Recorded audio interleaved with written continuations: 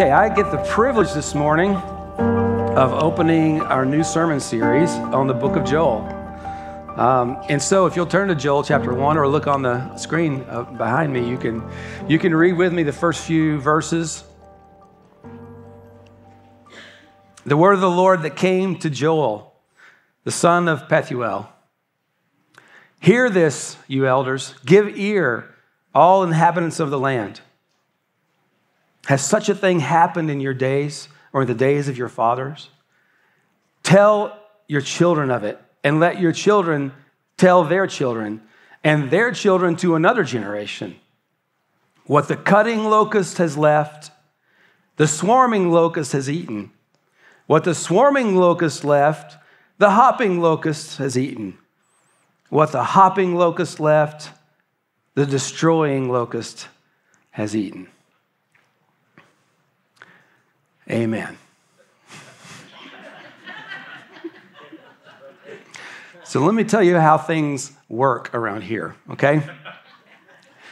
When we're putting together sermon series, and we love going through you know, an entire book because going through a book helps us to, to uh, get the big picture of things. It also helps us to preach on things we may not preach on otherwise, you know, going through a book expositorily.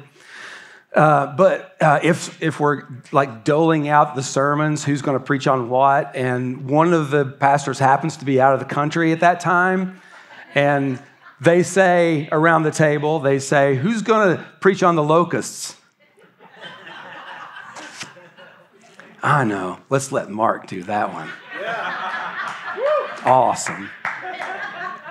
So, this is what they give me the locust. So, we're going to have like a seminar on entomology, study of insects this morning. We're going to talk about wingspans of locusts and various kinds of locusts and the length of cuspids and the length of legs and what they do. No, we're really not going to do that. We're going to, hopefully, I want to give you a big picture of two things this morning, okay? Because this is an introduction. Big picture of the Old Testament and what God's doing in the Old Testament, and a big picture of the book of Joel and what God's going to do in the book of Joel. So that's what that's my, my goal this morning. And it has to do with generations and it has to do with locusts. Okay? So let's see what we can do here. You know, big picture of the Old Testament, God has chosen to speak to us, right? Which is good news. He's revealed himself to mankind. And the Old Testament is the story of how he's revealed himself to mankind, and he reveals himself through many ways through his actions, through his words, through his laws, through his names. Mostly, he reveals himself to us through his covenants, his covenants of love, his chesed. This is a Hebrew word, chesed, his faithful love, his faithful loving kindness, covenant love. So, at the core of God's self revelation to us and his plan to us is covenant, or we can call it relationship. He's made a covenant with us, like a marriage is a covenant. It's a beginning of a relationship when, we're, when you're exchanging those vows, right? And so God has made a covenant, and He's because His whole heart is about relationships with us.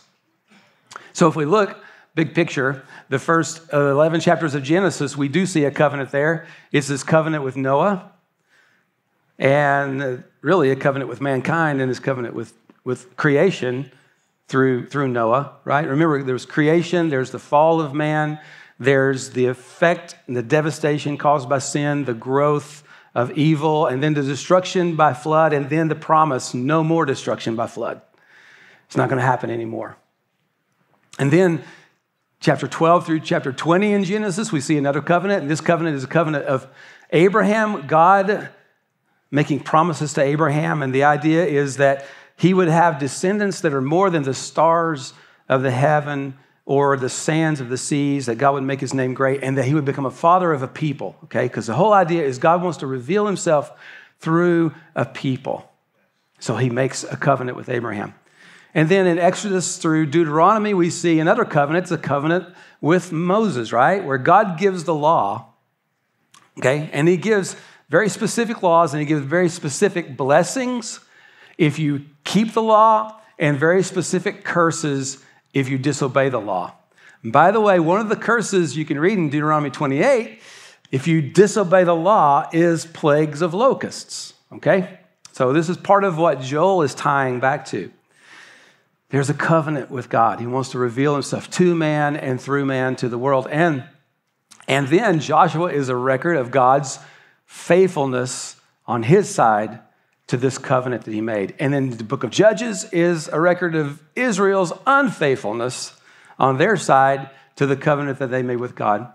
And then in the book of Kings and Samuel and even Chronicles, we see um, this covenant with David. And God says that there'll be someone uh, from the line of David that will be on the throne always, forever, will sit on, the, on God's throne. And we know that that's not only David's literal physical throne, but it's actually a picture of Jesus. So it's pointing to Jesus. Okay, so all these covenants, and now we come, now we come to the role of the prophets. Okay, what is a prophet supposed to do? Is he just a, uh, an angry guy who points his finger at people? No, he's a heartbroken guy who is trying to call people back to their covenant. A, co- a prophet is an enforcer of the covenant. And he, when you, there's this history of Israel, and it's like this, right? Sometimes they serve the Lord, sometimes they fall away from the Lord, and then they serve and they fall away. And in these down times, we're seeing the prophets. God sends prophets to call people back into the covenant. And that's the whole idea. So, through the prophets, God is saying that his covenant is still in effect, and keeping it will still bring blessing, and breaking it will still bring punishment. And that's what's happening in the book of Joel. So, that's a big picture of the Old Testament, really big, really, really quick one. But I also want to give you a big picture of the prophet Joel. And this book is um, is an amazing book. It has so many things in it. And in the next few weeks, we're going to be going in detail over this. But I want to give you like the movie trailer version, okay? Very quick version of the book of Joel, okay? So here you go. This is what we're going to see in the book of Joel. He starts out by saying this Listen! That's what he starts out. Hear this. That's the first two words of, he, of, of his message. Hear this. Pay attention. This is something that has never happened, an extraordinary event. Tell it to your children and grandchildren and great grandchildren. The terrible things you've gone through should turn your ear to God. The famine that's caused by invading army of locusts, real locusts eating real food and the priests and the tillers of the land are weeping because the land is destroyed. There's no fruit, there's no bread, there's no oil. The seeds shrivel under the clods. There's nothing in the storehouses. Even the animals are groaning because there's nothing for them to eat or drink. And just as the fields are dried up, the hope of men's hearts has also dried up, and there are no offerings for the house of the Lord. And then another army, a powerful nation with fierce fangs, lays waste the vine of God's people. A literal army that comes to destroy. A great army from the Lord is coming in judgment. And in front of them, the land is like the Garden of Eden, but behind them, it's like a desolate wilderness, and nothing escapes them. Horses and chariots, like flaming fire, burn up the land. The people are in anguish and are terrorized. The earth is quaking, and the sun and the moon grow dark. The day of the Lord is very dark and very awesome. And who can endure it? It's time to call all the people together and proclaim a solemn fast. Let everyone gather and tremble and cry out to God. The day of the Lord is near, the day of judgment, and it is terrible. And the Lord says, Return to me with all of your hearts, with fasting and weeping and wailing. Everyone, elderly, leaders, children, nursing infants, those who celebrate, let them stop. Bride and bridegroom, stop the honeymoon. This is serious. Cry out for God to spare you. Don't merely tear your clothes, but rip open your hearts. Return to God. Because he is gracious and compassionate and slow to anger and rich in love. Repent to God so he will relent on his judgment. And when you do, the Lord will have pity and he will send rain and the crops and a future and a reputation among the nations. He will remove your enemy. Don't be afraid, for he will send the early rain and the later rain. And he says, I will restore what the locusts have eaten. You will eat and be satisfied. You will be my people, and you will no longer endure shame. And after this, after this, I will pour out my spirit. Young, old, male, female, everyone will experience the work of the Spirit, and everyone who will call in the name of the Lord will be saved. And then I will gather all the nations and I will judge them on behalf of my people. There will be another day of the Lord, and the Lord will roar in judgment, but he will be a refuge to his own people. And there is a bright future, and the Lord will dwell with his people. Wow. In the coming weeks, we're going to go into detail about these things. What a picture Joel puts forth for us. But today, our job is four verses, right? And we have to understand those four verses in the context of what's going on in Israel. The problem is we don't know much about the context here, okay? So we don't know much about, so we have to ask questions. Well, always we ask questions when we approach the scripture who, what, when, where, how, why, so what? What does it mean to us? We ask those questions, but we don't get a lot of answers here in the book of Joel. Uh, we don't know exactly when he wrote this because he really didn't tell us. A lot of the other prophets say, in the day of King so and so, and we know pretty much the time frame when they were, they were uh, prophesying him, but Joel didn't say that, right? Maybe it was after the time of exile, the time of Ezra and Nehemiah, because he does mention a temple, but he doesn't mention any kings at all. But we don't know for sure. And he seems to have come either after or alongside the other prophets because he quotes them. He has a lot of quotations from Isaiah, from Amos, from Nahum, from Obadiah, from Ezekiel, from Zephaniah. He has read his Bible, okay? He's read the scriptures, he has read the prophets that have come before him.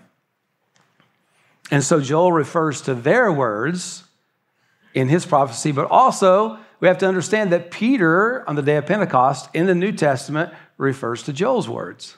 He harkens back to what Joel says. And this is an odd thing that, that Joel tells us about a coming judgment, but he doesn't list any sins that the people have committed. And this is unique because most of the prophets do list the sins. They list very explicitly here's what you have done. And for these sins, this judgment is coming upon you. But Joel doesn't do that. He doesn't tell them the specific sins at all. I think because he assumes that everyone has been listening to the message of the other prophets who did list specific sins. But here's the thing Joel understood what to do in his day. He understood what was happening, and he knew what to do, and he had hope for the future because he was reflecting on the prophets that he had and on the biblical writings that he already had, on the scriptures. He's hearkening back to the first five books of the Bible. He's hearkening back to the history of Israel. And also, Peter, too, he interpreted what was going on in his day based on what was written. Okay, this is a lesson for us. We can understand what's going on in our day and how we should respond to what's going on in our day by getting ourselves in the book, right? Get in the Bible. Where else are you going to get a trusted source of information? Does anybody know a trusted source of information today? I mean, Seriously? In, in the news, is there a trusted source? Is there an unbiased source anywhere? Is there some kind of perspective of real truth anywhere? But there is for us. There is. And Joel looked at the writings, he looked at the history of Israel, and he understood what to do, cut through the confusion. Okay, so we don't really know anything else about Joel either. We don't know anything about him except for who his father was. Some guy named Pethuel, right? Joel's name means Jehovah is God. Pretty good name for a son, right? Pretty good. Maybe he was from the southern kingdom because he mentions Judah and Jerusalem, but we don't really know. We just don't know much about it. But I think the fact that we don't know much about Joel or the time that he wrote might be an indication that his writings were not just time specific for that day, but it's also for all of us. It's for us today, it's for all generations, it's timeless. And what is going on here in, this, in, the, in, the, in the day of, that Joel is writing? What's going on? Well, I mean, there's a national disaster. Something probably we don't, we have never really lived through. Some of our older saints lived through, you know, part of the Depression, probably the Great Depression, maybe the Dust Bowl, you know, when it was such a, there was such a famine in, in our country and the depression was going on. Maybe that kind of national disaster we can relate to a little bit. Some of us remember where we were exactly when we heard about 9 11, right? That was a national disaster, but this is different, okay? Because this is an attack on the entire economy, because it's an agrarian economy, right? This is a, this is a agriculture is everything. And locusts, when agriculture is everything, locusts are a big thing. Okay? right? So we get like cicadas, we get the little locusts every however, however many years, right? And ever so often there's a plague of locusts in uh, the Middle East and in Africa. We can see that. In fact, there was one in 2020. I think we might have a picture of it. Can you imagine? Can you imagine living in a plague of locusts? Okay, but not just a plague. This is four kinds of locusts. This is plague after plague swarm after swarm of locusts. And whatever these guys didn't eat, the next one ate. Whatever they didn't eat, if there was anything left, the next one's ate. It was absolutely dissolution. No, nothing going on agriculturally. So, so there's no food. There's no hope.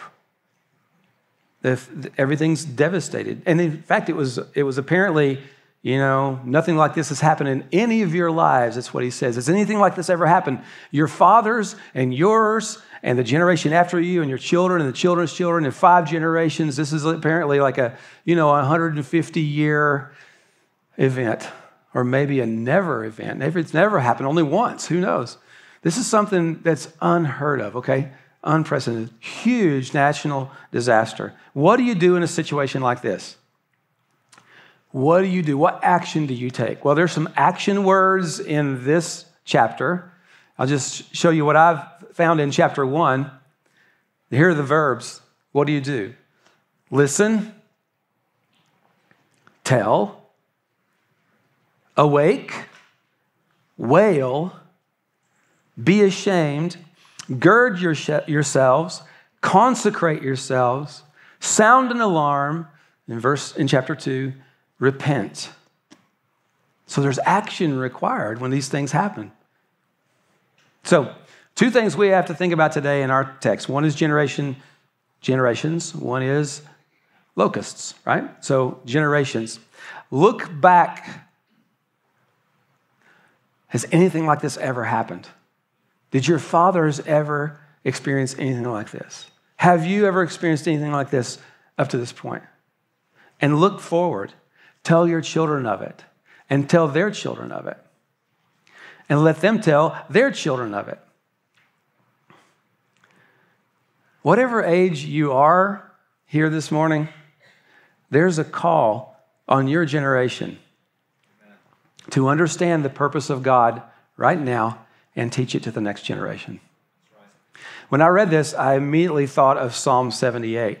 And I'm going to read it to you, the first few verses of it. Listen to this. This is a, a wisdom psalm, okay? And the psalmist is given like a parable, like a dark saying, almost like a riddle here, okay? Give ear, O my people, to my teaching. Incline your ears to the words of my mouth. I will open my mouth in a parable.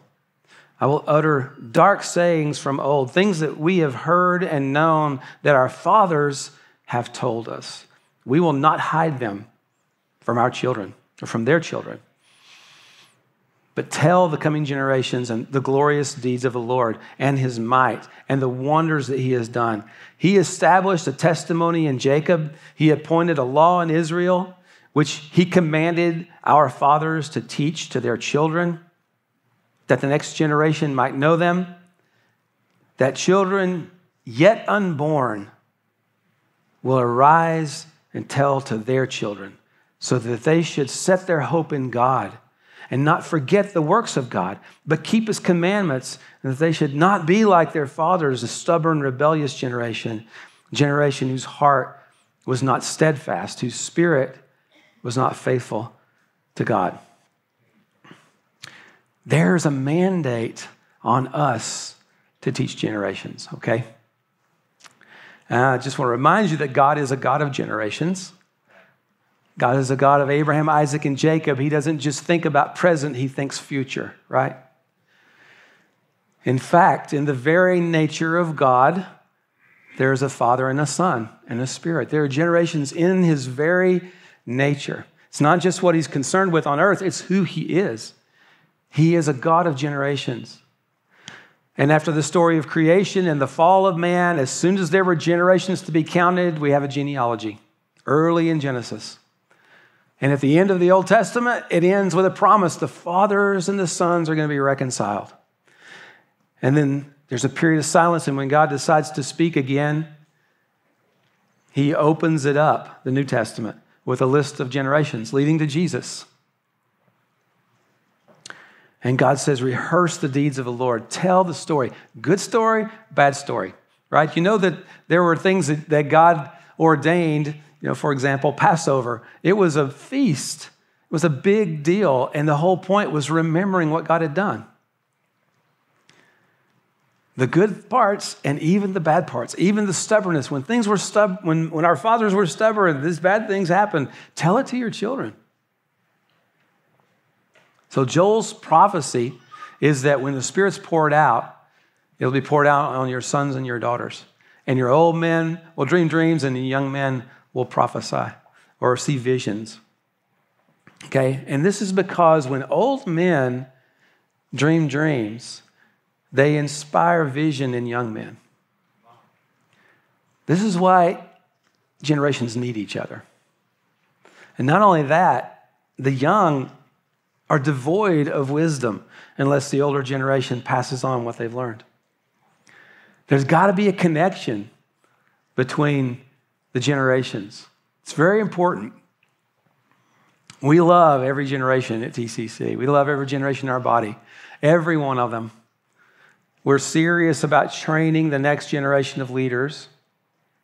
Your church staff here is full of bright young men and women who love Jesus and love this church.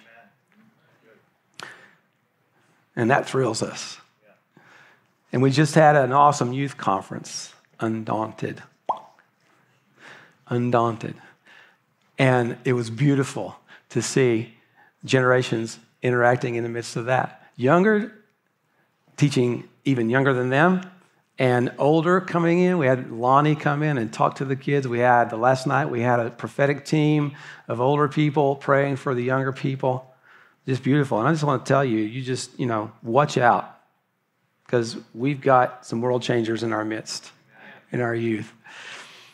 But God's given a mandate to fathers and mothers to train their sons and daughters, not to the school system and not to the children's ministry. We'll do our best to come alongside you and help you disciple your kids, but the mandate is on you. You have to teach, you have to train your children. Tell of the marvelous works of the Lord. Warn them about the times when there was a falling away. Instill a healthy fear of God that hates what's wrong and loves what's right. And magnify God's kindness by living a life of repentance and living in the fruit of that re- repentance, which is the goodness of God. It's a gift of God.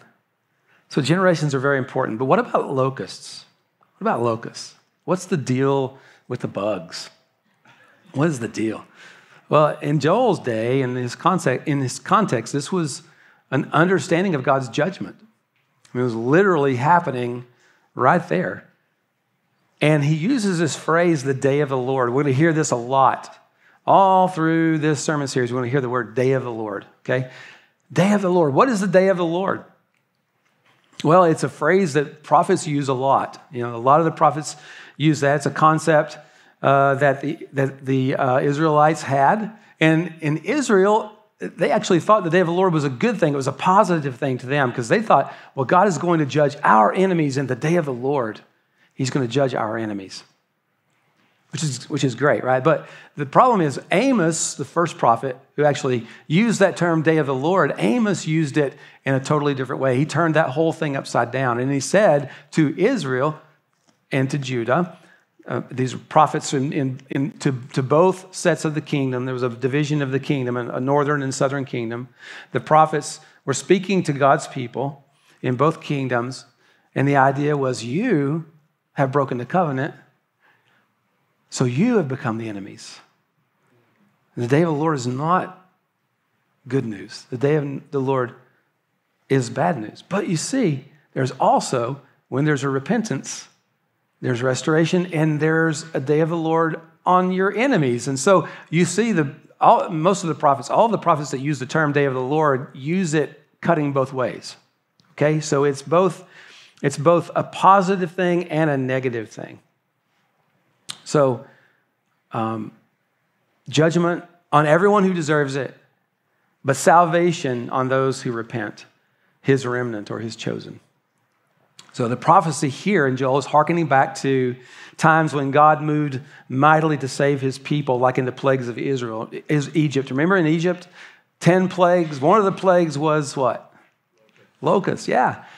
God was bringing locusts to destroy the land, to judge the evil people so they would let his people go. But now God's confronting evil again. It just happens to be in his own people. Wow. And also among the nations to bring salvation and deliverance to the world. So in chapter one, we see a national disaster similar to the plagues of, of Exodus, but this time it's the purpose is to get the attention and the renewed affection of his own people. Chapter two describes a similar day of the Lord, but similar, but perhaps in the future. We don't know for sure. This time, maybe in the following weeks, we'll learn more about that. Um, this one uh, seems to be like a military army that's coming and destroying everything, and nobody can endure its judgment. And this is God's army. Chapter 2, verse 11 says this is God's army. God is sending this army. So, what are we to do when God sends an army, army of judgment? Well, he tells us.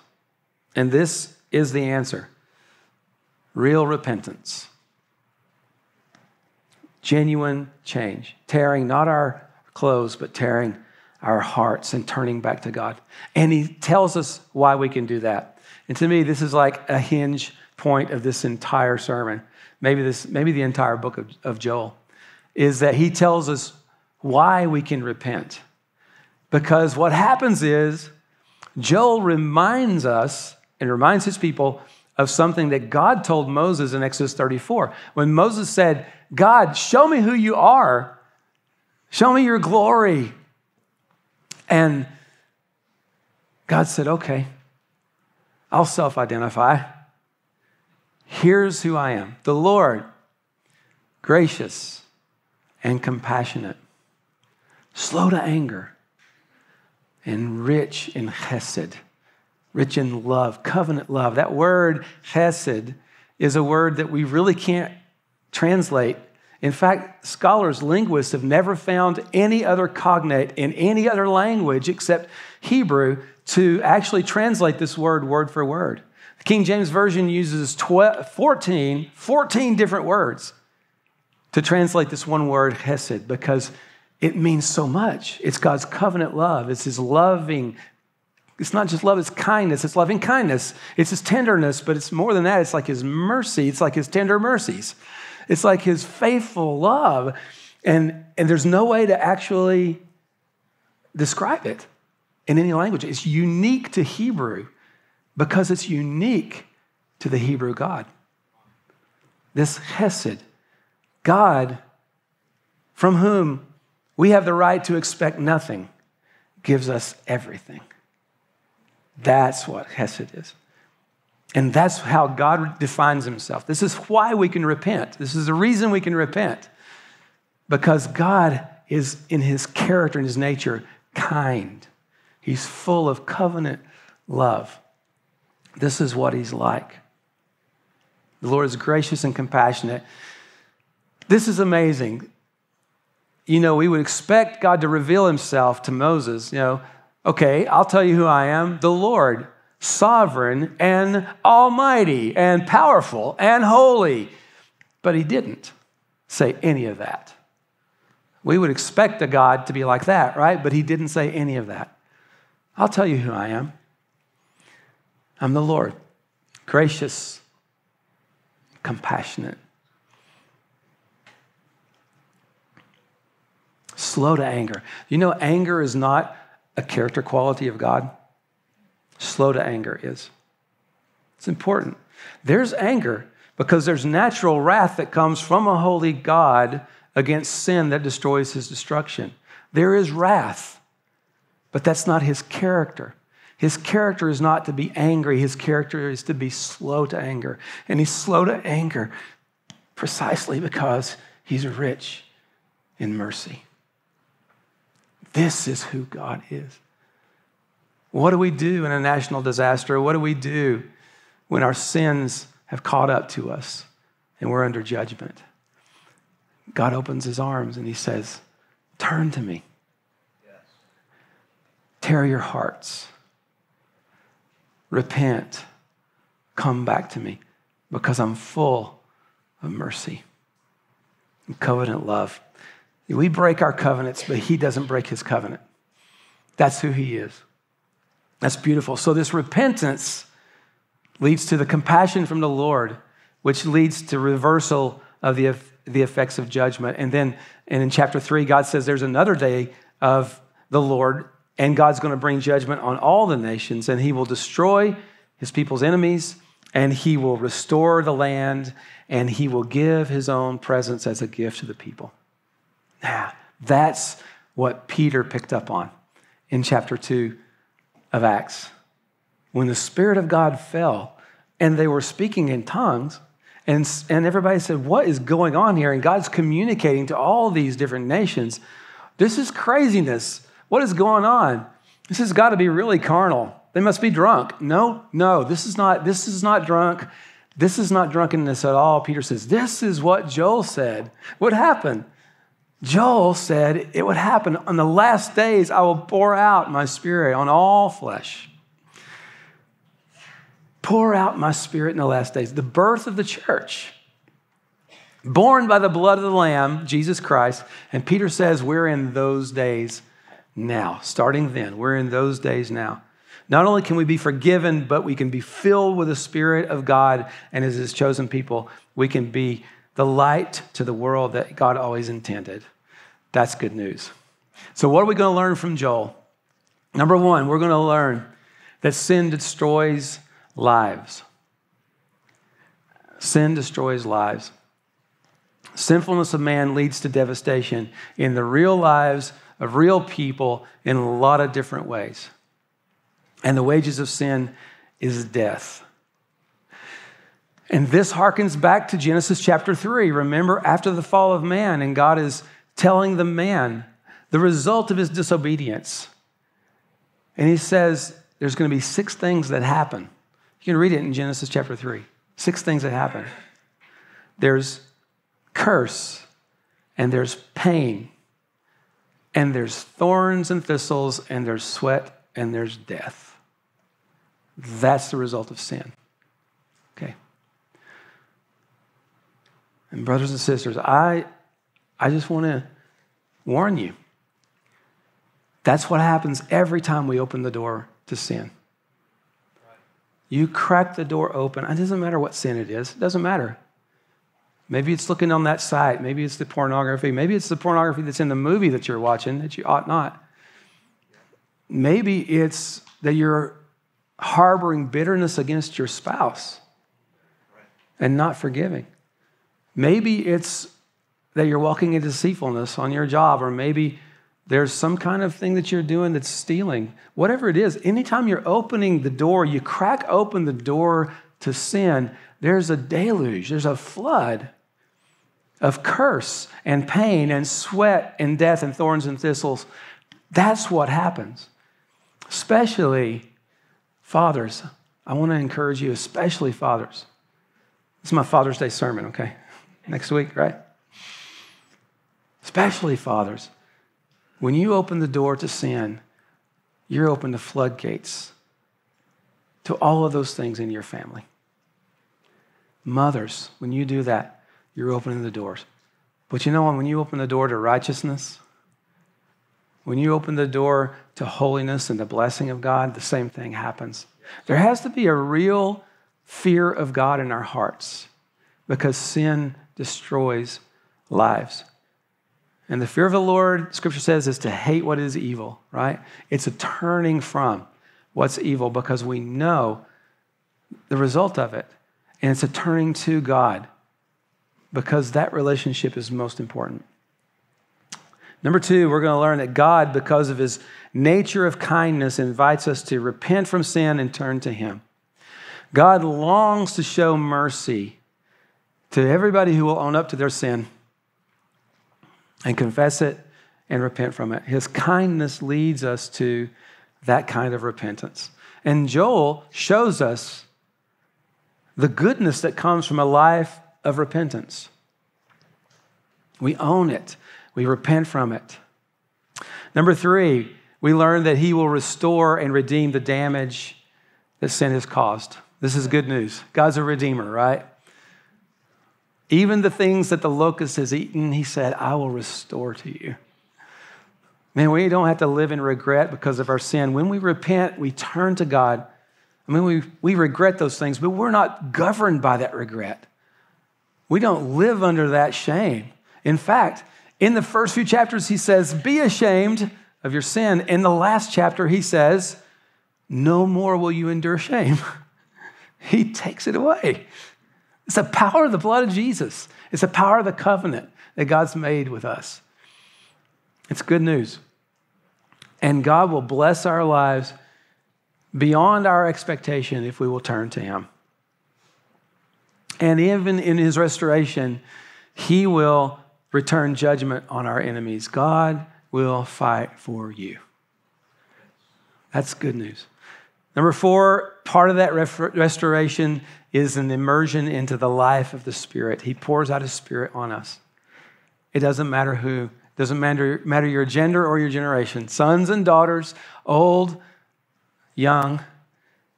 He's going to pour His Spirit out on you. It's beautiful. The last words of the whole book of Joel are The Lord dwells in Zion. God lives with His people. His presence is, a, is the precious part of this promise, right? And the last thing is that everyone who calls on the name of the Lord shall be saved. God's Hesed, his covenant love is, is perfectly lived out, perfectly seen in the life of Jesus Christ and in the gospel. Even before all those covenants we mentioned this morning, even before the covenant with Noah, in the third chapter of Genesis, we see a covenant promise where the seed of the woman will crush the head of the serpent, right?